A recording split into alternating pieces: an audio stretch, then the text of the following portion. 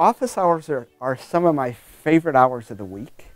Usually about half of it's related to course topics, and then there are these tangent questions about life, about thoughts of future careers, about ways to make the world a better place. I've been teaching here at UC Berkeley for 15 years. My name's Tom Carlson. I'm a, medical doctor uh, as well as a botanist and an ethnobotanist. And I teach human anatomy, human reproduction, evolutionary medicine, uh, and medical ethnobotany, as well as a freshman seminar. It's a lot of classes, but I, I, I enjoy it immensely. This, this, this is very interesting. When I can present material in such a way that questions are generated, uh, you can feel it. You can feel that communication zone you get into, and uh, you walk out more energized than when you went into the lecture. Yeah, this is huge because. And then, when they take the lab, here at UC Berkeley, we have an extraordinary botanical garden. Ah, it smells wonderful. So the plants I'm talking about in lecture, we're actually able to see what the plants look like.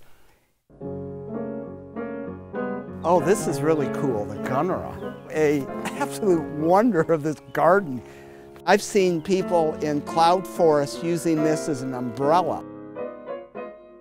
Nice specimen here. This is tea, the opium poppy.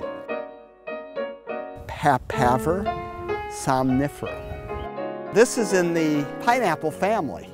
Extraordinary. Ah, there's the foxglove. You can see the nectar guides in the flowers.